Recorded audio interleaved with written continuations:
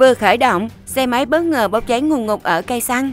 Vừa nổ máy, chiếc xe bất ngờ bốc cháy ngùng ngục ngay tại cây xăng khiến người đàn ông bối rối. Sự việc xảy ra tại một cây xăng ở thành phố U Đàm, tỉnh Giang Tây, Trung Quốc. Cụ thể, sau khi đổ xăng xong, người đàn ông ngồi lên xe và chuẩn bị di chuyển. Tuy nhiên, khi vừa nổ máy, chiếc xe bất ngờ bốc cháy ngùng ngục khiến người đàn ông lúng túng. Vài giây sau, người này mới dựng xe lên và đi lùi ra phía xa. Phát hiện ra sự việc, nhân viên cây xăng đã lập tức chạy tới rồi dùng bình cứu hỏa dập tắt đám cháy. May mắn là nhờ màn phản ứng cực nhanh của nhân viên cây xăng nên đám cháy không lan sang cột bơm xăng. Được biết, không có ai bị thương sau vụ cháy. Toàn bộ diễn biến sự việc đã được camera giám sát ghi lại.